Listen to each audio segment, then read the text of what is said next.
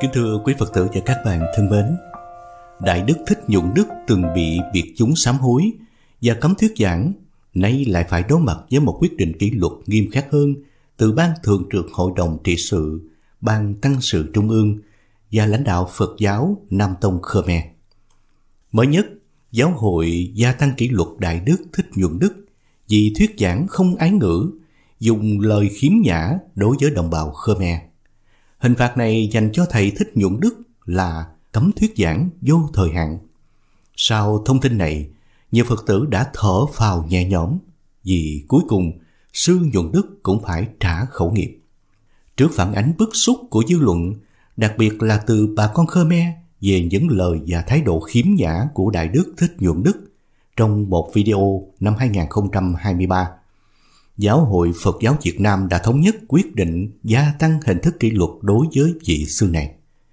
Theo đó, Chư Tôn Đức đại diện Ban Thường trực Hội đồng trị sự, Ban Tăng sự Trung ương, Chư Tôn Đức lãnh đạo đặc trách hệ phái Nam Tông Khmer, cùng văn phòng 2 Trung ương Giáo hội Phật giáo Việt Nam đã có buổi họp trao đổi, xem xét và thống nhất các biện pháp kỷ luật gia tăng đối với Đại Đức Thích Nhuận Đức vào chiều ngày 9 tháng 7.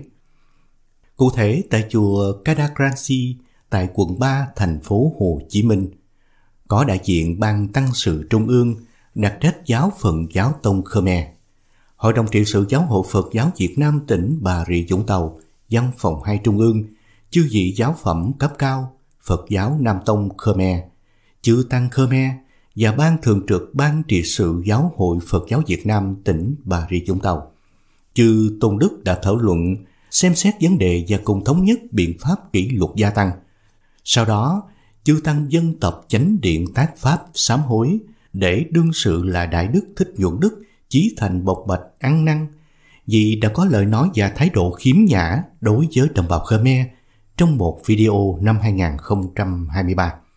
Tại đây, lãnh đạo văn phòng 2 Trung ương Giáo hội cho biết chư vị giáo phẩm đặc trách các hệ phái đã thống nhất cấm Đại Đức Thích Nhuận Đức thuyết giảng không thời hạn dưới mọi hình thức. Đồng thời Đại Đức Nhuận Đức phải thành tâm sám hối với Trung ương Giáo hội và hệ phái Phật giáo Nam Tông Khmer, xin lỗi đồng bào và Phật tử Khmer. Giáo hội cũng yêu cầu Đại Đức Thích Nhuận Đức thực hiện biệt chúng sám hối đúng luật Phật chế định. Thời gian thực hiện sám hối cũng sẽ được áp dụng không thời hạn cho đến khi Ban Thường trực Hội đồng trị sự có chỉ đạo thay đổi biện pháp sám hối. Việc giám sát Đại Đức Thích Nhuận Đức thi hành kỷ luật được Giáo hội Giao ban trị sự Giáo hội Phật giáo Việt Nam tỉnh Bà Rịa Vũng Tàu và Ban quản trị Tổ đình Hộ Pháp chịu trách nhiệm. Đại Đức Thích Nhuận Đức đã tác bạch thành tâm sám hối trước chư Tôn Đức Tăng. Hòa Thượng Đào Như, Phó Chủ tịch Hội đồng trị sự, Phó trưởng ban Tăng sự Trung ương đặt trách Phật giáo Nam Tông Khmer, thay mặt chư vị giáo phẩm, đã có lời giáo giới nghiêm khắc đối với Đại Đức Nhuận Đức. Trước đó, sáng ngày 9 tháng 7, Đại Đức Thích Nhuận Đức cũng đã một lần nữa đến văn phòng 2 Trung ương Giáo hội Phật giáo Việt Nam sám hối, trình bày lời xin lỗi về vụ việc trên. Ban trị sự xác định, trên mạng xã hội thời gian qua, lưu truyền các video phát ngôn thuyết giảng của Đại Đức Thích Nhuận Đức sai với tôn trị giáo lý, giáo luật Phật giáo. Những video này cũng đã vi phạm các quy định thuyết giảng của Ban Hoằng Pháp Trung ương. Hòa Thượng Đào Như thay mặt chư vị giáo phẩm đã có lời giáo giới nghiêm khắc đối với Đại Đức Thích Nhuận Đức. Hòa Thượng kêu gọi chư Tăng Phật giáo Nam Tông Khmer, đồng bào Phật tử Khmer hoan hỷ chấp nhận lời sám hối và xin lỗi của Đại Đức Thích Nhuận Đức. Sau khi lắng nghe toàn bộ ý kiến phát biểu của chư Tôn Đức tham dự cuộc họp, trên tinh thần cộng đồng trách nhiệm, đảm bảo tính kỷ cương và truyền thống đoàn kết của hệ phái Phật giáo, đoàn kết cộng đồng 54 dân tộc trong đại gia đình giáo hội Phật giáo và đất nước ta, căn cứ với luật chế và những quy định hiện hành của Giáo hội Phật giáo Việt Nam. Ban thường trực Hội đồng trị sự Giáo hội Phật giáo Việt Nam quyết định cấm thuyết giảng không thời hạn dưới mọi hình thức đối với Đại Đức Thích Nhuận Đức. Tại buổi làm việc, Đại Đức Thích Nhuận Đức đã xin sám hối chư Tăng và giáo hội. Trong thư sám hối, tu sĩ Nhuận Đức cho biết đã nhận thức về sai phạm của mình và xin sửa sai khắc phục hoàn toàn. Theo báo giác ngộ, dẫn thông tin từ Ban trị sự Giáo hội Phật giáo tỉnh Bà Rịa Vũng Tàu cho biết, cơ quan này vừa nhận thư sám hối và xin lỗi của Đại Đức Thích Nhuận Đức tại Tổ đình Hộ Pháp thị xã Phú Mỹ, tỉnh Bà Rịa Vũng Tàu. Do đã có lời nói khiếm nhã trong một video từ năm 2023 khi nói về đồng bào Khmer. Theo Hòa Thượng Thích Huệ Trí, Phó Chủ tịch Hội đồng trị sự trưởng Ban trị sự Giáo hội Phật giáo tỉnh Bà Rịa Vũng Tàu, ngày 26 tháng 6 năm 2024, ông nhận được phản ánh của Thượng tọa Quách Thành Sa Tha, Quỹ viên Hội đồng trị sự, Phó trưởng Ban trị sự Giáo hội Phật giáo Việt Nam tỉnh Bà Rịa Vũng Tàu, đặt trách hệ phái Nam Tông Khmer. Qua tin nhắn điện thoại về việc có dư luận phản ứng trước những lời lẽ khiếm nhã được cho là xúc phạm dân tộc Khmer của Đại Đức Thích Nhuận Đức. Hòa Thượng Thích Huệ Trí đã cho xác minh thông tin trên và được biết nội dung đó trong một video cũ từ năm 2023. Theo đó, Đại Đức Thích Nhuận Đức đã có những lời lẽ, thái độ khiếm nhã bẩn cợt trong việc kể chuyện gọi tên bà con Khmer đến chùa Hộ Pháp. Thượng tọa Thích Quệ Trí đã yêu cầu chư Tôn Đức Ban Thường trực Ban trị sự tỉnh Bà Rịa Vũng Tàu xem xét trực tiếp trao đổi với Ban Quản trị Tổ đình Hộ Pháp về vụ việc này. Ban Quản trị Tổ đình Hộ Pháp cho biết ông Thích Nhuận Đức đã nhận thức được lỗi lầm trên và một lần nữa viết thư sám hối và xin lỗi về vụ việc này. Trong thư sám hối và xin lỗi, ông Thích Nhuận Đức đã viết trong năm 2023 trong buổi nói chuyện vui với Phật tử và vô tình con có lời xúc phạm đến người dân tộc Khmer. Này, con thành thật xin sám hối quý ngài, mong quý ngài từ bi hỷ xã bỏ qua cho con những chuyện cũ và xin lỗi tất cả đồng bào dân tộc Khmer. Và bắt đầu từ hôm nay còn không tái phạm nữa. Trích thư sám hối của ông Thích Nhuận Đức. Cũng trong thư, Đại Đức Thích Nhuận Đức cho biết đã gỡ xuống những bài giảng mang tính nhạy cảm trên trang cá nhân của chùa sau ngày 4 tháng 6 năm 2024 khi bị Trung ương Giáo hội kỷ luật. Ngoài ra, Đại Đức Thích Nhuận Đức cũng xin sám hối những bài giảng mang tính nhạy cảm đã xảy ra trước ngày 4 tháng 6 năm 2024. Kính mong quý Ngài mở rộng lòng thương cho con, được ghi đôi dòng xin sám hối và xin lỗi đến tất cả người đồng bào dân tộc Khmer. Đại Đức Thích Nhuận Đức đã viết trong thư.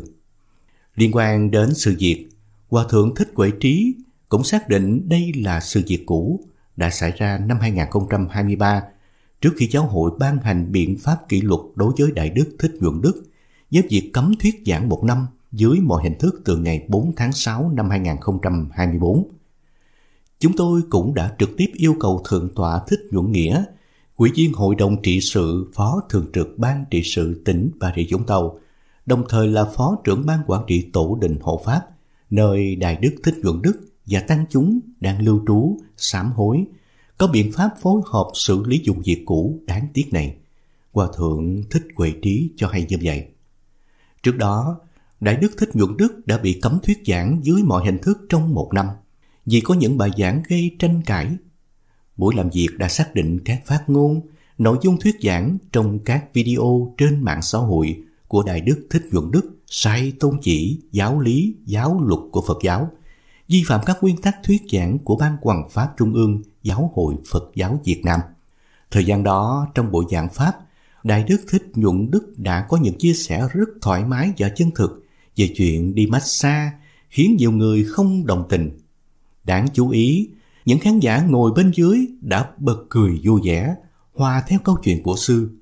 Cụ thể, cộng đồng mạng đang tích cực lan truyền đoạn clip vị thầy này đã thoải mái kể về câu chuyện đi massage của bản thân như thế này.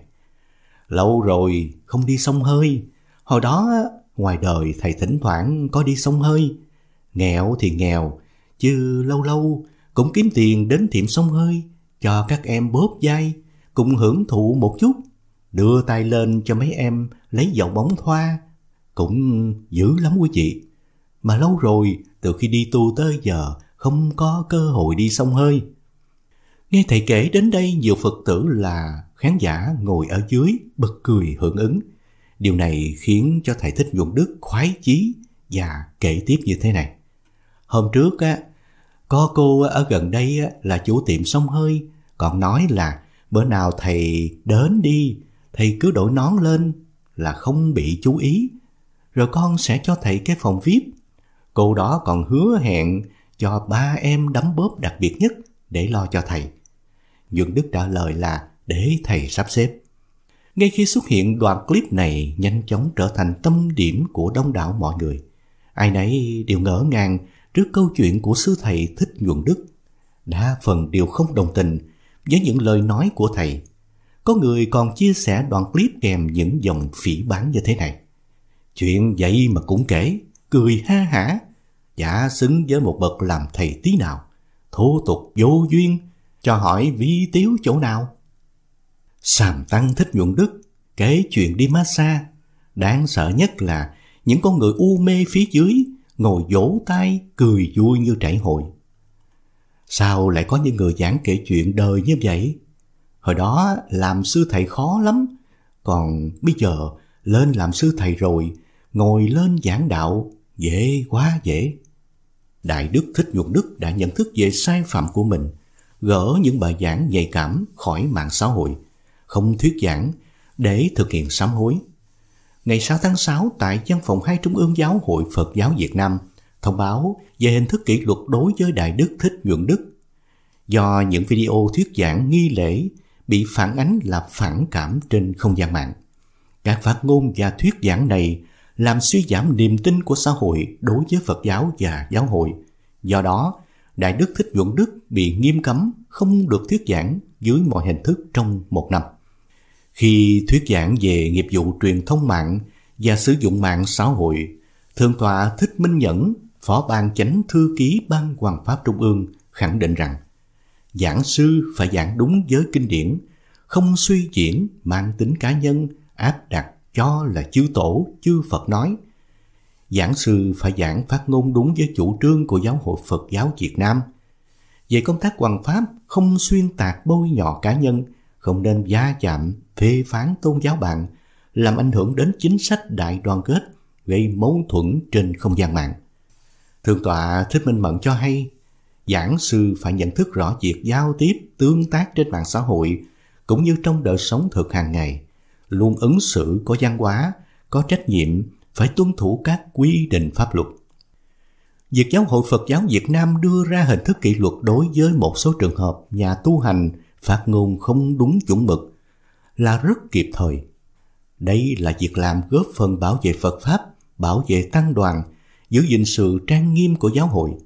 Sự việc này cũng cho thấy Giáo hội Phật giáo Việt Nam cần tăng cường quy định chặt chẽ, nghiêm khắc hơn để ngăn chặn những sự việc tương tự. Việc thuyết giảng của các nhà tu hành Phật giáo trên mạng xã hội nếu có nội dung lệch lạc tuyên truyền mê tín dị đoan sẽ ảnh hưởng rất xấu đến xã hội, đến nhận thức của chư Phật tử, người dân. Do phát ngôn lệch chuẩn đó, kẻ xấu sẽ lợi dụng công kích hạ thấp uy tín của giáo hội tăng ni, gây mất đoàn kết xã hội và tôn giáo. Quý vị nghĩ như thế nào về những câu chuyện của Đại Đức Thích Nhuận Đức? Liệu hình phạt này có đủ để thầy thay đổi hay không? Xin hãy để lại những ý kiến của mình dưới phần bình luận của video này. Chúng tôi cảm ơn quý vị đã đồng hành và theo dõi hết video của chúng tôi. Xin chào và hẹn gặp lại quý vị trong những video tiếp theo.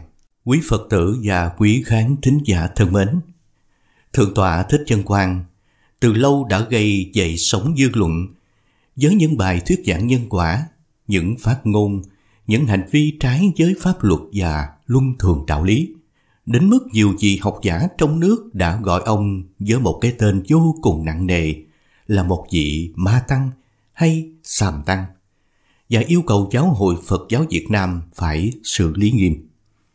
Nhưng mới đây, đề tài được bàn luận nhiều nhất trên mạng xã hội mấy ngày qua đó là con đường học vấn và bằng cấp của Thượng tọa Thích Chân Quang, trụ trì chùa Thiền Tôn Phật Quang ở Bà Rịa Vũng Tàu.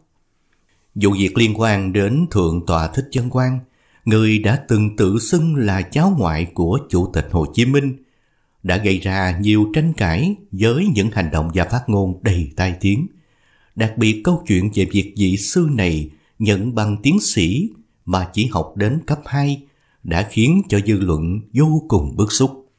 Nhiều người cho rằng việc Thượng tọa Thích Chân Quang tốt nghiệp cử nhân luật hệ vừa học vừa làm năm 2019 cho đến năm 2021 đã bảo vệ thành công luận án tiến sĩ luật tại trường Đại học Luật Hà Nội là quá siêu phàm và nhiều tình tiết đáng ngờ. Những ngày gần đây sau khi lùm xùm phát ngôn gây tranh cãi thì Thượng tọa Thích Chân Quang được cư dân mạng lục lại tiểu sử cũng như quá trình học vấn của ông. Ông tốt nghiệp cử nhân luật hệ tại chức năm 2019, thế nhưng năm 2021 đã nhận bằng tiến sĩ luật, cùng tại trường Đại học Luật Hà Nội. Có một số ý kiến thắc mắc Thượng tòa Thích Chân Quang lấy bằng tiến sĩ bằng cách nào chỉ trong 2 năm sau khi tốt nghiệp đại học. Vậy thực hư về việc này là như thế nào?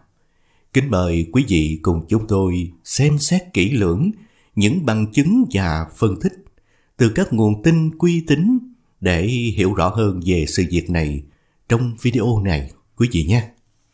Dân kính thưa quý vị, Thượng tọa Thích Chân quan có mối quan hệ rộng rãi và sở hữu nhiều tiền bạc. Tuy nhiên, dư luận cả nước hết sức quan tâm và bức xúc trước những hành động và phát ngôn vô trách nhiệm của vị sư này. Thượng tọa Thích Chân Quang với tư cách là một trụ trì, tuyên truyền giảng đạo và dạy dỗ Phật tử, nhưng lại chỉ xoay quanh vấn đề tiền bạc và cúng dường. Thượng tọa thậm chí còn được gọi với biệt danh là Thầy Thích Cúng Dường, do những hành động luôn nhằm mục đích cúng dường và những lời nói gây tranh luận. Như chúng ta đã biết, Giáo hội Phật giáo Việt Nam đã kỷ luật Thượng tọa Thích Chân Quang bằng cách cấm sống, cấm phát ngôn và cấm thuyết giảng trong vòng 2 năm dưới mọi hình thức. Mặc dù hình thức kỷ luật này còn nhẹ, nhưng cũng đã phản ánh phần nào những hành vi sai trái của vị sư này. Dư luận đang yêu cầu xử lý nghiêm minh thượng tọa theo đúng quy định của pháp luật và tìm ra ai đã cấp bằng tiến sĩ cho sư. Kính thưa quý vị, trên mạng xã hội lưu truyền một tấm ảnh bằng tốt nghiệp cấp 3 Bộ Túc Văn hóa có tên Dương Tấn Việt, tên thật của Thượng tọa Thích Văn Quang, do Sở Giáo dục và Đào tạo thành phố Hồ Chí Minh cấp ngày 12 tháng 7 năm 1989. Nếu thông tin này là đúng thì Thượng tọa Thích Văn Quang tốt nghiệp cấp 3 trung học hệ Bộ Túc Văn hóa, khi đó là 30 tuổi, có nghĩa là không được học hành bài bản khi còn niên thiếu. Thông thường, người học bổ túc văn hóa rất khó vào đại học do trình độ kiến thức bổ túc này kém xa so với hệ trung học chính quy. Thế nhưng, trường hợp của Thượng tọa Thích Chân Quang rất đặc biệt. Từ trình độ cấp 3 bộ túc văn hóa, chẳng biết bằng con đường nào vị sư này đã thi đậu theo học rồi tốt nghiệp cử nhân ngành tiếng Anh tại Đại học Ngoại ngữ Hà Nội năm 2001. Sư Thích Chân Quang có bằng cử nhân tiếng Anh hay không thì cần xác minh. Vì có lúc sư lại nói sư có chứng chỉ IELTS, một giấy chứng nhận trình độ tiếng Anh cho học sinh du học các nước Anh, Mỹ, Úc. Nếu đã có bằng cử nhân tiếng Anh thì không cần tới giấy chứng nhận này nữa. Thừa thắng sông lên tiếp tục theo đuổi con đường học vấn thâm sâu, Thượng tọa Thích Dân Quang theo học ngành luật văn bằng 2, tức là vừa học vừa làm, ở Đại học Luật Hà Nội Già sư đã tốt nghiệp cử nhân luật giới loại giỏi. Ngay thời gian đó, Thượng tọa trúng tuyển nghiên cứu sinh tức là sinh viên tiến sĩ khóa 25B trường Đại học Luật Hà Nội. Mặc dù khóa học này kéo dài 4 năm, tức là từ năm 2019 cho đến năm 2023, theo chương trình đào tạo tiến sĩ từ bậc cử nhân và diễn ra trong thời gian cả nước phong tỏa để chống dịch Covid-19. Vị sư này đã rất xuất sắc hoàn thành chương trình học tiến sĩ chỉ trong 2 năm 4 tháng. Thưa quý vị, hiện tại cơ quan quản lý nhà nước cụ thể là Bộ Giáo dục và Đào tạo đang đặt câu hỏi về quy trình cấp bằng tiến sĩ cho Thượng tọa Thích Chân Quang. Trong video này, chúng tôi xin được trích dẫn cụ thể từ một đoạn video do chính lời của Thượng tọa như thế này. Có một cái trường đại học, ban giám hiệu người ta có tâm đạo, người ta mời thầy tới, người ta cúng dường cho thầy cái bằng tốt nghiệp tiến sĩ được luôn. Đấy, chủ yếu là người ta có tâm, một trường đại học nó cúng cho thầy, không cần học. Thượng tọa Thích Chân Quang nói rằng không cần phải học, và tấm bằng tiến sĩ đó là do trường đại học cúng dường cho. Mặc dù sư không nêu rõ tên trường, nhưng chúng ta đều ngầm biết đó là trường đại học luật Hà Nội đã cấp bằng tiến sĩ cho sư, một hình thức cúng dường. Thượng tọa khẳng định không mất tiền, nhưng theo quan điểm của cư dân mạng thì vị sư này đã bỏ ra rất nhiều tiền để mua bằng tiến sĩ và hiện tại đang chuẩn bị nhận thêm một bằng tiến sĩ thứ hai. Một chuyên gia về giáo dục đại học và cũng có nhiều năm làm công tác đào tạo đại học cho hay như thế này. Nghiên cứu sinh Dương Tấn Diệt tức Thượng Tòa Thích Trân Quang vốn tốt nghiệp đại học ngành luật hệ vừa học vừa làm. Việc học đại học xong, học viên Dương Tấn Diệt được nhận vào làm nghiên cứu sinh học tiến sĩ là chuyện rất đặc biệt. Bởi hệ chuyển tiếp thẳng học luôn tiến sĩ từ cử nhân thường chỉ dành cho những sinh viên cực kỳ xuất sắc. Còn thông thường sau khi tốt nghiệp cử nhân chỉ cho học thạc sĩ, chưa kể việc học thẳng thạc sĩ từ cử nhân mà không cần thi vào đã là rất hiếm. Do đó, theo chuyên gia, đây là trường hợp hết sức đặc biệt. Vị chuyên gia này cũng cho biết thêm là có thể nói một năm ở Việt Nam cũng chỉ có khoảng 10 người làm được việc này, tức là phải diện siêu giỏi và có những đóng góp phát hiện rất mới, đặc biệt mới được các nhà trường đưa vào danh sách tuyển thẳng làm nghiên cứu sinh. Trong trường hợp của học viên Dương Tấn Việt, mọi người cũng rất băn khoăn. Luận văn tốt nghiệp đại học của ông có gì đặc biệt để được nhận vào làm nghiên cứu sinh? Ngoài ra về quy trình và tổng thời gian đào tạo tiến sĩ, theo chuyên gia, từ thời điểm được công nhận là nghiên cứu sinh vào tháng 12 năm 2019 cho đến thời điểm bảo vệ là tháng 12 năm 2021, tức tròn 2 năm. Mặc dù phía trường Đại học Luật Hà Nội cũng có báo cáo với báo chí ngày 25 tháng 6 giải thích đã làm đúng luật nhưng tôi cho rằng vẫn sai. Bởi bản thân quy định về tuyển sinh và đào tạo tiến sĩ của nhà trường cũng ghi nếu trong trường hợp cực kỳ xuất sắc, thời gian đào tạo được rút ngắn một năm. Quy chế hiện tại nêu thời gian đào tạo tiêu chuẩn từ nghiên cứu sinh có bằng đại học nhưng chưa có bằng thạc sĩ cùng nhóm ngành là 4 năm. Như vậy nếu có rút ngắn đi một năm vẫn phải còn 3 năm. Như thế học viên Dương Tấn Việt vẫn thiếu một năm theo quy chế đào tạo của chính trường Đại học Luật Hà Nội. Theo chuyên gia, khi học thẳng từ cử nhân lên tiến sĩ, học viên phải học bù phần còn thiếu của chương trình thạc sĩ. Một chuyên gia giáo dục khác cũng đặt ra thắc mắc như thế này. Thượng tọa Thích Chân Quang quan tất việc học và có bằng tiến sĩ chỉ trong vòng hơn 2 năm. Trong khi ông lại không phải dành thời gian học tập trung và làm nghiên cứu sinh mà còn làm những công việc khác ở chùa, quỹ thời gian có hạn. Thời gian đâu để làm phần khảo sát thực tế, thực nghiệm, điều tra xã hội học.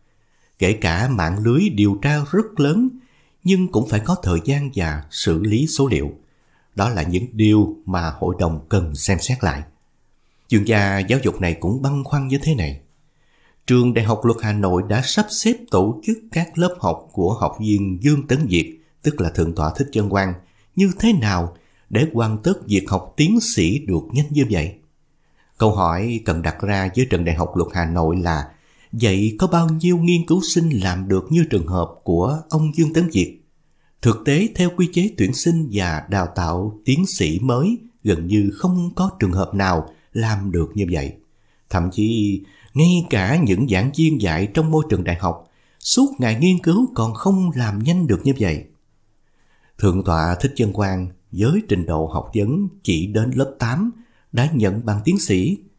Những hành vi và lời nói của sư thời gian qua thể hiện rõ sự thiếu học vấn và đạo đức, dạy dỗ các Phật tử theo kiểu dọa dẫm vì tiền và vì quyền. Chúng tôi cũng xin trích thêm từ một đoạn video khác của Thượng tọa Thích Chân Quang như thế này. Chính trị là gì? Nếu mà định nghĩa theo chữ nghĩa thì chính trị là gì? Đó là chính sách, chính quyền, chính phủ gì đó không biết – nhưng mà nếu nói bản chất của chính trị là gì?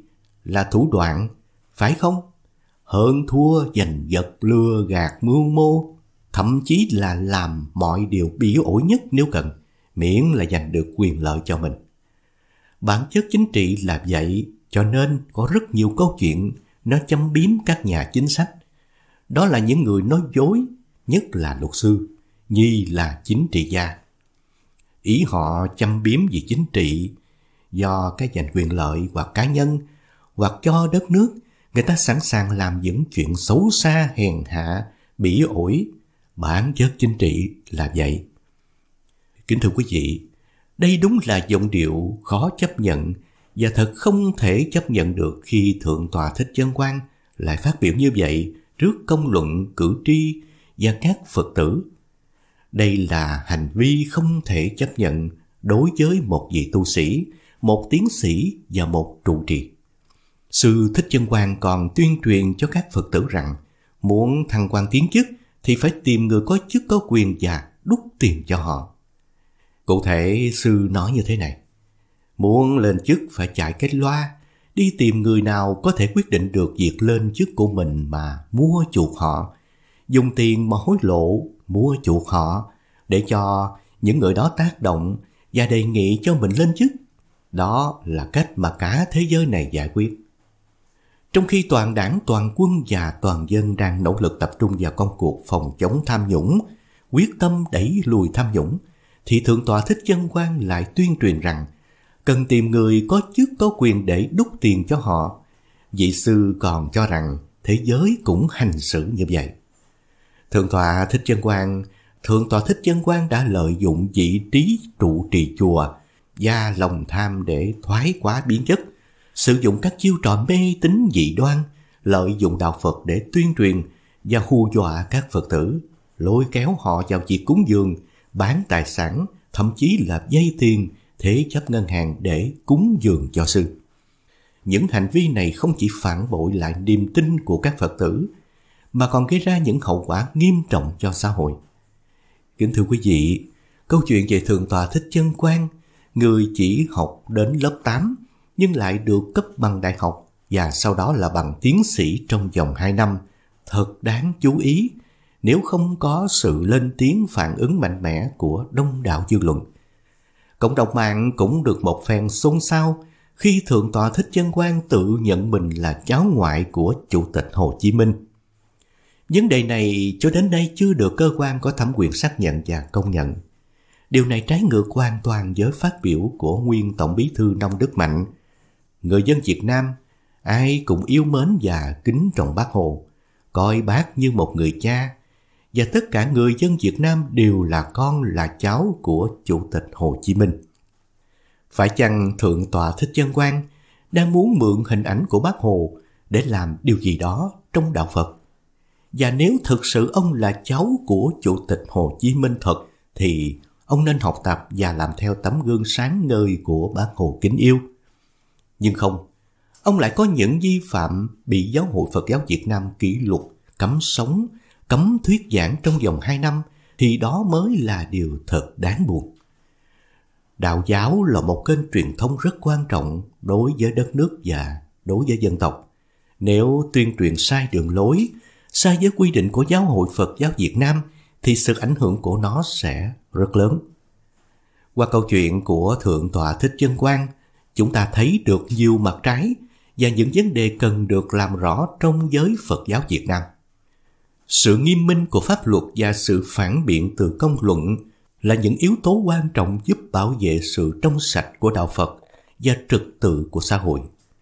Còn quý vị, quý vị nhận thấy vấn đề này như thế nào? Hãy cho chúng tôi được biết ý kiến của quý vị bằng cách bình luận ở dưới phần video này. Xin hãy tiếp tục theo dõi chúng tôi để cập nhật những video mới nhất. Xin chào và hẹn gặp lại. Kính thưa quý Phật tử và quý khán thính giả thân mến.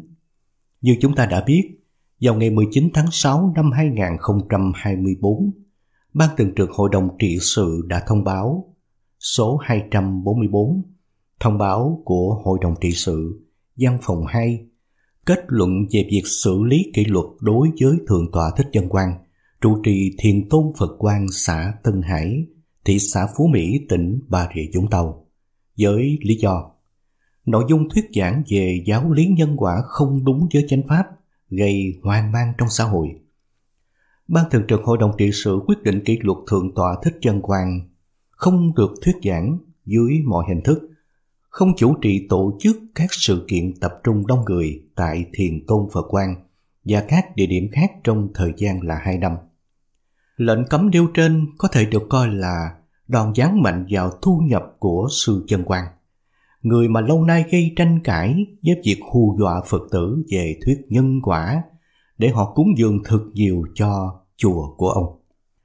Thiền tông Phật quan và Thượng tọa Thích Chân quan phải thu hồi tất cả các phái quy y tam bảo, có nội dung tự sửa một trong năm giới không đúng với ngũ giới do Đức Phật chế trong giới luật Phật giáo. Gỡ bỏ tất cả các bài giảng có nội dung gây hoang mang trong xã hội. Thượng tọa Thích Chân quan và ban quản lý Thiền Tôn Phật quan phải chấn chỉnh sinh hoạt các đạo tràng, chúng thanh niên Phật quan tại các tỉnh thành phố, không đưa các bài giảng của Thượng tọa Thích Chân quan lên các nền tảng mạng xã hội trong thời gian Thượng tọa Thích Chân quan nhập thất sám hối tại Thiền Tôn Phật quan. Qua phản ứng của xã hội suốt thời gian vừa qua, có rất nhiều sai phạm của Thượng tọa Thích Chân quan về việc thuyết giảng tuyên truyền sai với tôn chỉ của Đức Phật, buộc ban tôn giáo chính phủ phải lên tiếng, giao cho Giáo hội Phật giáo Việt Nam truy cứu và xử lý. Trước đó, Đại Đức Thích Nhuận Đức cũng bị một năm cấm giảng về tội nói xàm kém duyên khi thuyết giảng trước Phật tử. Thì Thượng tọa Thích Chân quang không chỉ nói xàm, một tu sĩ giảng đạo sai giáo lý tự ý sửa giới luật đưa quần chúng vào con đường mê hoặc tà kiến. Đa số công chúng vô cùng hài lòng vì quyết định này của ban trị sự giáo hội dành cho Thượng tọa Thích Chân Quang. Song, bên cạnh đó cũng có rất nhiều người cho rằng việc cấm giảng 2 năm đối với Thượng tọa Thích Chân Quang thì còn quá nhẹ, chưa đủ tính răng đe. Mặt khác, theo những người ủng hộ Thượng tọa Thích Chân Quang, kể cả bản thân của Thượng tọa Thích Chân Quang đều cho rằng mạng xã hội cắt ghép, youtuber, tiktoker là những truyền thông bẩn không đúng sự thật và giáo hội đã xử oan cho bậc thầy đáng kính của họ. Tuy nhiên, cũng trên các nền tảng như YouTuber, Facebook và TikTok, không khó để chúng ta có thể tìm được video có các phát ngôn gây cãi của Thượng tọa Thích Chân Quang. Sau đây là một số câu nói gây ra nhiều tranh cãi của nhà sư Thích Chân Quang có thể kể tới như phải tìm tiền mệnh giá cao và đưa cho thầy trụ trì. Ông thầy trụ trì á, mới làm được việc đạo. Tại sao ta lại được gương mặt đẹp như vậy? Bởi vì kiếp nào đó ta cũng tham dự lễ đúc tượng và ta cũng đã cúng dường. Người mà có tâm đạo cúng luôn cả cái nhà của mình cho chùa luôn dọn đi chỗ khác mà ở. Ai hát karaoke nhiều, người đó có nguy cơ chết là ma cầm. Những phát ngôn đó là một trong những minh chứng là có phải cắt ghép hay không? Thưa quý vị và các bạn, mới đây nhất trên trang web Phật giáo nổi tiếng có tên là thư viện qua sen.org có đăng tải một bài báo nói về sự việc của nhiều năm trước với những vụ bê bối phải nói là khủng khiếp của Thượng tọa Thích Chân Quang, của tác giả có bút danh là Minh Mẫn. Trong bài viết của tác giả có đề cập tới rất nhiều sai phạm của Thượng tọa Thích Chân Quang. Mặc dù chưa biết tính xác thực của những tin tức này, nhưng chúng tôi cũng muốn gửi đến quý vị để quý vị có một cái nhìn đa chiều về vị sư này. Ông có phải là bậc chân tu bị quan hay không? bị hãm hại hay không thì chúng ta hãy cùng nghe và tự chiêm nghiệm quý vị nhé. Bản thân Thượng tọa Thích Chân Quang cũng tự nghĩ mình là bị nạn, cũng như từng bị nạn vào năm 2009. Ngày mà toàn bộ tăng ni chúng và nữ Phật tử bị lạm dụng tình dục, xác nhận làm bản tường trình kiện Thượng tòa Thích Chân Quang thì thầy liền dẫn tăng ni về Tóc Tiên lập nơi an trú riêng để tu tập. Tuy nhiên vẫn chưa yên ổn khi nghe sư phụ lập mưu lấy lại đất ở Tóc Tiên. Sự việc tranh chấp đất đai này là có thật và đã có một thời gian âm ỉ đến chính quyền một thời gian dài. Ngày 9 tháng 12 năm 2009, tại công ty Pháp Quan Phú Nhuận, Thượng tọa Thích Chân Quang bị tố giác, đối chất, hạch tội, đuối lý. Thượng tọa Thích Chân Quang nói là có gì để luật pháp xử lý. Trong clip, thầy Thích Chân Quang than giảng cuộc đời ông chịu nhiều đau khổ, ngoại đạo, thế lực ngầm, cấu kết với đệ tử để ám hại ông. Ông luôn hoang tưởng bị nhiều kẻ hại, cứ như ông là nhân vật chủ chốt của đất nước, bảo vệ tổ quốc, vì tự nhận mình là cháu của bác Hồ. Theo ông kể thì kế hoạch ám hại ông sẽ làm không còn ai tin tưởng ông, xa rời ông, thân bà danh liệt, không có nơi cư trú, sẽ chết đầu đường xó chợ. Khi lên clip trăng trối, ông trông thật là thảm hại, giọng nói thì yếu đuối, ủ rũ trong bộ áo lam, không còn quanh liệt hùng hồn trong chiếc áo vàng như mọi ngày, kêu gọi sự thương xót của những ai còn thông cảm cho thầy. Ông than rằng mục đích ông xây dựng giáo lý Phật giáo để ăn sâu trong mọi ngõ ngách, làm mới Phật giáo, kêu gọi lòng yêu nước thương dân như một lãnh tụ. Và trong sâu thẳm ý tưởng, ông sẽ lập một giáo phái thiền tông riêng và nội quy kế hoạch điều hướng còn nằm trong ngăn tủ để chờ thời gian.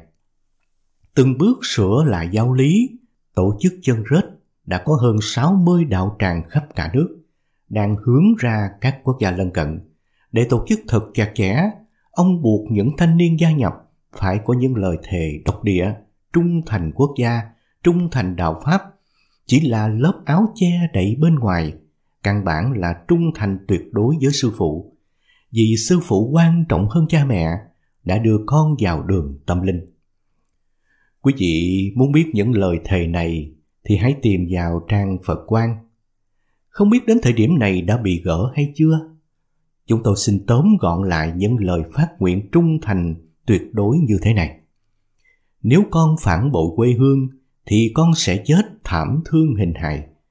Nếu con phản bội Như Lai, thân con lửa đốt qua vài triệu năm.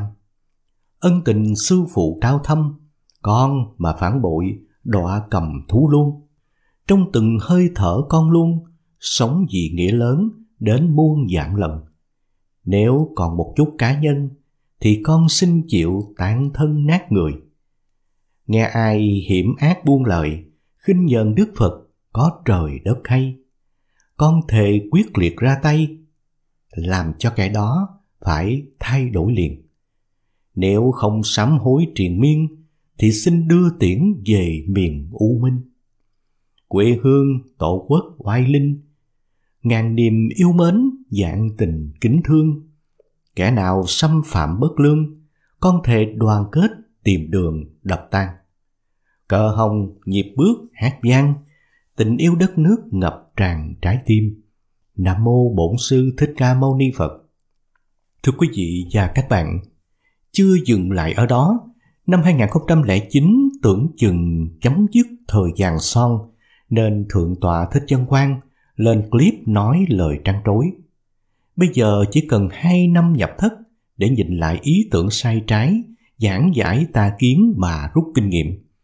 Thượng tọa Thích Chân Quang hoang tưởng là một giáo chủ sáng lập chủ thuyết mới, nhiều ảo giác như các giáo chủ từng phát sinh tại Nhật, Hàn Quốc, đem lại những xáo trộn cho đất nước. Và thực tế chúng ta thấy một thực tại Phật giáo nước nhà thời gian qua vô cùng hỗn độn. Sự ảo tưởng về mặt chính trị chỉ gây khủng hoảng cho một xã hội, ảo tưởng tà thuyết tôn giáo, dẫn dắt nhiều thế hệ vào u mê, tâm tối, sẵn sàng hy sinh trung thành tuyệt đối cho giáo chủ. Vẫn không ít người hiện nay còn tin tuyệt đối thầy mình bị oan, thầy mình là bậc chân tu, thầy mình là trong sạch, là người có công với Phật giáo. Thời gian nữa chúng ta sẽ được sáng tỏ về vấn đề này. Tất cả các giáo hội phái tà đạo trên thế giới gắn liền với hành động cực đoan. Thành viên muốn thoát ra đều bị thanh toán vì lời thề khi gia nhập. Các chính phủ luôn theo sát mọi động tịnh của các tà giáo. Xin nhắc lại là trước đây Thượng tọa Thích Chân Quang đã từng đề cao hội Tam Hoàng và nói rằng xã hội ổn định là nhờ xã hội đen. Chúng ta tự hỏi, một nhà sư nếu không cùng chí hướng thì tại sao lại dám đi tán dương những thế lực trong bóng tối? Thượng tọa Thích Chân Quang đã từng dám cả quyết rằng toàn bộ bộ công an bị Hồi giáo mua chuộc. Tại sao Thượng tọa Thích Chân Quang luôn thuyết giảng nhiều bài giảng về nhân quả như cà phê, karaoke, du lịch đều tác hại? Tại sao Thượng tọa Thích Chân Quang dám nói Việt Nam là em của Trung Quốc? Lý Thường Kiệt chống Trung Quốc là hỗn, trong khi đất nước ta luôn bảo vệ biên cương tổ quốc. Ông cha ta từng đánh đuổi Bắc Phương, đã đô hộ đất nước cả ngàn năm. Đây quả thực là điều khó hiểu mà hàng triệu người đang tự đặt ra câu hỏi cho vị tu hành này. Tất cả những phát ngôn của Thượng tọa Thích Chân Quang cần phải tổng hợp xem xét lại, không chỉ đơn thuần là sai giáo lý của Đức Phật, mà đâu đó còn liên quan tới những vấn đề khác của xã hội. Dẫn dắt truyền bá các tín đồ cuồng đạo đi theo những luận điệu xuyên tạc u mê. Việc các nhà tu hành bị kỷ luật thời gian qua sẽ là hồi chuông cảnh tỉnh cho một bộ phận tăng ni đang đi lầm đường lạc bước quay đầu là bờ. Đất nước của chúng ta sẽ an bình khi không còn con người phá hoại ngầm mang danh tôn giáo. Phật giáo sẽ trong sạch hơn khi vắng những tăng tướng luôn hướng đến quyền lợi và quyền lực ngầm làm suy giảm niềm tin của quần chúng. Không ai phá được Phật giáo nếu không phải là các nhà sư, người đứng đầu thiếu đạo hạnh, nhiều tai tiếng thị phi cả. Suy cho cùng, tất cả chúng ta đều hướng về tâm linh, về Phật Pháp, đều hy vọng được Phật Pháp soi đường dẫn lối, bước qua u mê. Cuộc đời bớt khổ đau và tìm về hạnh phúc an lạc. Phật giáo sẽ vĩnh viễn là tôn giáo lớn mạnh nhất đất nước Việt Nam chúng ta. Quý Phật tử và quý khán thính giả thân mến, sau sự việc ngày 6 tháng 6 năm 2024, khi Đại Đức Thích Nhuận Đức bị Giáo hội Phật giáo Việt Nam cấm thuyết giảng trong mọi hình thức, biệt chúng sám hối tại Tổ đình Hộ Pháp, thị xã Phú Mỹ, tỉnh Bà Rịa Vũng Tàu. Đồng thời phải sám hối chư Tăng và Ban trị sự Giáo hội Phật giáo Việt Nam tỉnh Bà Rịa Vũng Tàu. Trung ương Giáo hội Phật giáo Việt Nam giao ban pháp chế Ban Kiểm soát và Ban Trị sự Giáo hội Phật giáo Việt Nam tỉnh Bà Rịa Vũng Tàu giám sát việc thi hành kỷ luật đối với Đại Đức Thích Nhuận Đức trong vòng một năm. Sau một năm, Ban trị sự Giáo hội Phật giáo Việt Nam tỉnh Bà Rịa Vũng Tàu báo cáo về đạo hạnh việc hành trì quay nghi giới luật của Đại Đức Thích Nhuận Đức. Thì mới đây thêm một vị sư nữa được Giáo hội Phật giáo Việt Nam gọi tên. Chiều ngày 7 tháng 6 năm 2024, theo thông tin của báo Giác Ngộ liên quan tới dư luận xã hội và thông tin đại chúng về các phát ngôn việc làm thuyết giảng của Thượng tọa Thích Chân Quang, trụ trì chùa Thiền Tôn Phật Quang tỉnh Bà Rịa Vũng Tàu. Ban tôn giáo chính phủ đã có văn bản đề nghị thẩm tra và báo cáo về việc này. Theo đó, Ban tôn giáo chính phủ đã đề nghị Ban Tôn giáo Sở Nội vụ tỉnh Bà Rịa Vũng Tàu làm việc với Ban trị sự Giáo hội Phật giáo Việt Nam tỉnh nhà nhằm thẩm tra, ra soát, xác minh về những phát ngôn thuyết giảng của Thượng tọa Thích Chân Quang bị dư luận phản ánh. Cụ thể là những phát ngôn trong một số clip lan truyền trên mạng xã hội không đúng với giáo lý, giáo luật, truyền thống văn hóa Phật giáo và lịch sử của dân tộc Việt Nam sửa đổi giới cấm trong chứng điệp quy y tam bảo của Phật giáo. Được biết, Ban Tôn giáo Chính phủ đề nghị ra soát thẩm tra và xác minh trong trường hợp nếu có vi phạm thì xử lý nghiêm minh. Trước đó, chúng ta thấy liên tiếp những vụ lùm xùm gây chấn động dư luận khiến cho tên của vị tu sĩ này lọt vào tầm ngắm của cộng đồng mạng. Từ những bức ảnh khiến cho dân mạng xã hội dậy sóng đến những phát ngôn ngông cuồng của một người nổi tiếng được cho là đệ tử ruột của thầy Thích Chân Quang, cho đến những đoạn ghi âm, những đoạn video thuyết giảng gây sốc dư luận mới được hé lộ. Công chúng đang đặt ra câu hỏi chuyện gì đang thực sự xảy ra. Một số bình luận trên mạng mang tính hài hước. Tam tai của thầy Thích Chân Quang đã tới rồi sao? Những gì diễn ra ngày hôm nay do chính thầy Thích Chân Quang gây ra. Hay như cách thầy vẫn hay nói là gieo dân nào thì gặt quả ấy. Hay thầy vẫn là nạn nhân, là người bị hại của một chiến dịch công kích ác ý của những thế lực có âm mưu sâu xa. Chúng tôi không có tư cách để phán xét. Chúng tôi chỉ ở đây để cung cấp cho quý vị một cái nhìn đầy đủ, đa chiều nhất về nhân vật đang gây tranh cãi dữ dội này. Và hãy để bản thân của quý vị là người tự kiểm nghiệm và đưa ra những nhận định đánh giá cho chính mình. Đầu tiên vào ngày 17 tháng 5 năm 2024, sau rất nhiều tranh cãi và yêu cầu làm rõ, Giáo hội Phật giáo xác nhận đã làm việc với Thượng tọa Thích Chân Quang để kiểm điểm. Lý do mà thầy Thích Chân Quang bị kiểm điểm là gì? Đưa ra các nội dung dẫn dụ theo luật nhân quả trong giáo lý của Phật giáo làm hoang mang xã hội không đúng với tôn chỉ. Một số lời dẫn dụ có nội dung như thế này. Có những người thích vô phòng máy lạnh, thiệt lạnh thiệt mát, sống ngược lại với cái nóng bên ngoài. Thầy vẫn nói người này hơi ác. Đời này có nhiều người bị lỡ miệng, ung thư miệng, cũng bởi vì sao? Đời trước thích câu cá. Không bao giờ mình nằm hay ngồi mà gác chân lên cao, ngang, đưa ngang đầu, ngang mặt người khác. Rồi thầy lý giải, do lúc nằm võng, nhất là nằm gần đường, tất cả mọi người đi qua trên đường trong ngày đó bị mình đạp bằng chân vô mặt hết. Nên bao nhiêu phước mình đổ xuống sông sạch hết là vì vậy. Cho nên cái võng là cái nơi mà tiêu diệt hết mọi công đức của chúng sinh. Kể về việc ma đói mà còn không nói được. Thượng tọa Thích Chân Quang giải thích, đó là do lúc sống đã dùng giọng nói chửi bậy, phỉ bán kinh điển và hát karaoke, cho nên ai hát karaoke nhiều, người đó có nguy cơ chết làm ma công.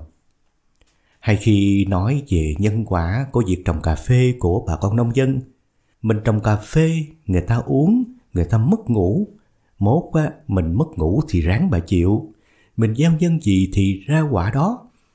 Khi nói về việc cúng dường cho chùa, thí dụ như mà mình có cái nhà mà tự nhiên sát bên chùa, mình nhìn qua nhà chùa, mình thấy cái chùa chật chội, Phật tử tới nhiều mà chùa chật quá thì nói thẳng một câu, mà người có tâm đạo đó, cúng luôn cả cái nhà mình cho chùa luôn, dọn đi chỗ khác ở, cứ ở cái tròi nào đó, ở bình thường thôi. Cũng hết, thành đất của chùa rồi sau này sẽ coi con cháu mình nó hưởng được phước. Lúc còn trẻ mà ham mê du lịch nhiều nơi, tới khi về già bị liệt, nằm một chỗ, đó là nhân quả. Đi du lịch, chúng ta hãy đến những nơi tu tập tâm linh giác ngộ. Đi để làm từ thiện cúng dường là chính, đừng có đi chơi, đi ăn hải sản vì như vậy là hết phước liền. Còn rất rất nhiều câu nói về nhân quả của thầy Thích Chân Quang khiến cho cộng đồng mạng bất bình. Nhưng phải kể đến đỉnh điểm nhất của những phát ngôn này là khi thầy Thích Chân Quang nói về thầy Thích Minh Tuệ như sau. Thí dụ như thấy một cái tay nó, nó mặc đồ rách, nó ôm cái bát, nó đi lang thang. Ô, đây là thánh nhân cuộc đời của tôi, đây là bậc thánh cũng là tào lao ba trận. Mà không biết có phải tay đó nó thiệt không? Nó tu cái gì? Nó học cái gì? Nó học bao nhiêu kinh điển? Nó dứt tâm chưa? Nó biết cái giới hạn giới luật là gì không? Lời Phật dạy nó học được bao nhiêu cái? Sửa được cái gì rồi? Chỉ thấy nó mặc áo rách, nó ôm cái nồi cơm đó đi thế là Ô, đây là bậc thánh của tôi đó cũng là ba trận, đó cũng là tà tư duy. Và rồi ngày 17 tháng 5 năm 2024, các phương tiện truyền thông công bố sự việc giáo hội Phật giáo kiểm điểm Thượng tòa Thích Chân Quang. Thế nhưng, trên thực tế thì buổi làm việc đã diễn ra được gần một tháng trước đó, tức là vào ngày 19 tháng 4 năm 2024. Ngoài ra Thượng tọa Thích Chân Quang cũng được xác nhận đã không còn nắm giữ chức vụ lớn trong giáo hội nữa. Trước kia, Thượng tọa Thích Chân Quang từng đảm nhiệm chức vụ là Phó trưởng ban Kinh tế Tài chính Trung ương Giáo hội Phật giáo Việt Nam. Nhưng hiện tại thì ông chỉ còn là trụ trì của chùa Phật Quang ở tỉnh Bà Rịa Vũng Tàu mà thôi.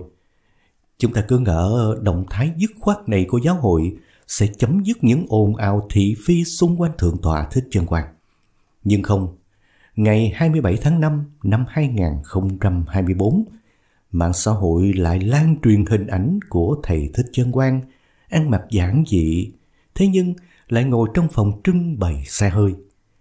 Chủ tài khoản đăng tải hình ảnh này bày tỏ lòng biết ơn với vị khách hàng là thầy Thích Chân Quang và tiết lộ rằng thầy đã bỏ ra một khoản tiền là hơn 2 tỷ đồng để mua một chiếc xe Volkswagen và Rogan màu đỏ nâu. Ngay sau khi sự việc mua xe được lan truyền trên mạng xã hội, có thông tin thầy Thích Chân Quang đã bỏ cọc và không mua nữa. Thế nhưng chừng đó vẫn chưa là gì so với kiếp nạn tiếp theo đây.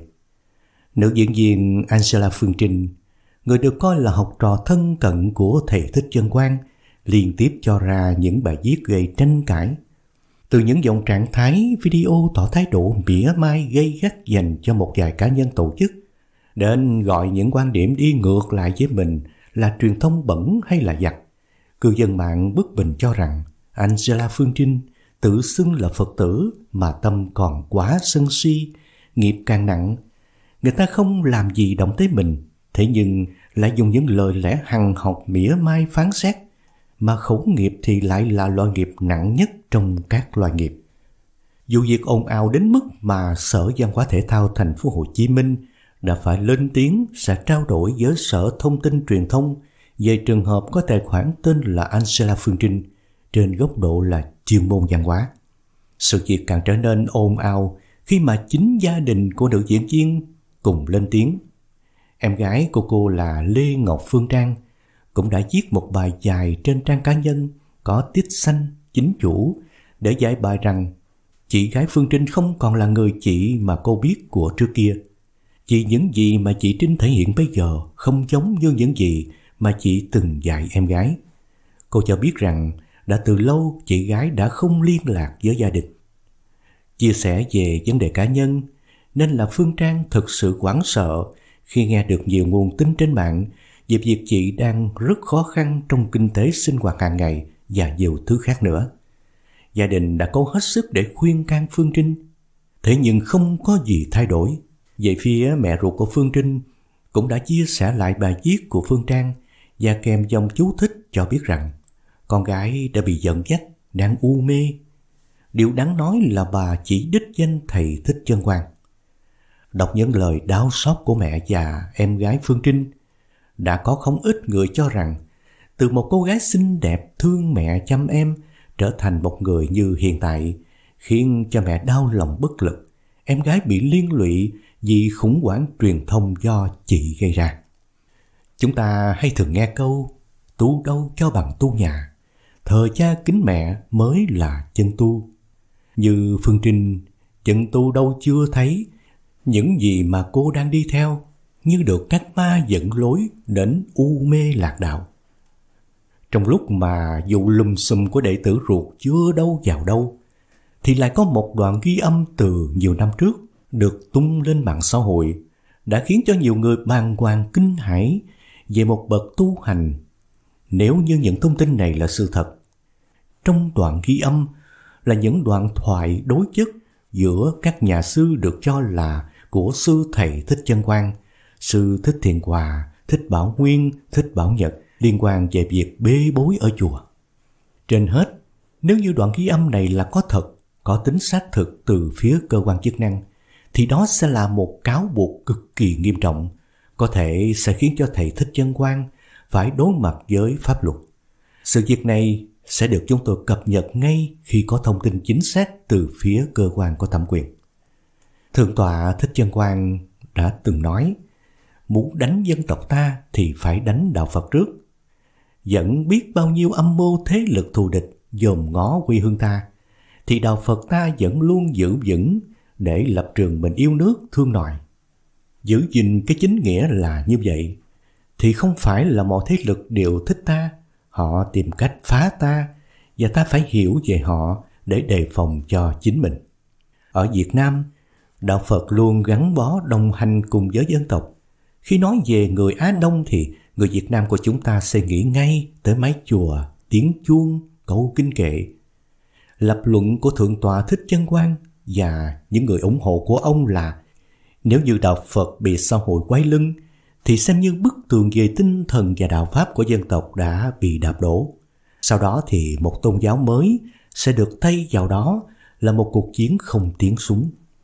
Thế nhưng nguy hiểm hơn, nếu muốn xóa sổ ngôi nhà Phật giáo thì phải đánh cho sập rường cột của ngôi nhà đó đi. Những rường cột này chính là các bậc cao tăng, hiền đức quy tụ được sự kính ngưỡng của đông đạo Phật tử.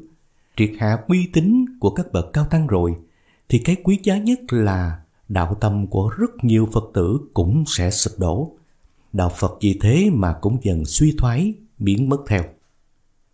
Chính vì thế mà những người ủng hộ thầy Thích Chân Quang cho rằng không phải ngẫu nhiên mà trong thời gian gần đây là xuất hiện hàng loạt các tín đồ thất thiệt, những bài viết công kích, nói xấu, nhục mạ, những lời buộc tội vô căn cứ nhắm vào các vị cao tăng trong Phật giáo, phủ sóng rộng rãi khắp các ngôi chùa cũng như là đầy rẫy trên mạng xã hội.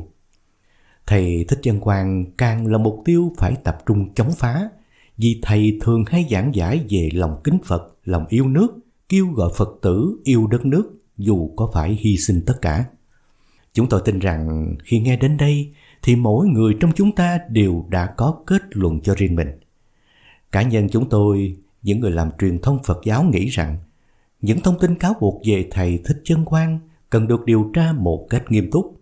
Bởi vì nếu những thông tin đó là bôi nhọ thì cần làm rõ để trả lại sự trong sạch cho nhà tu hành.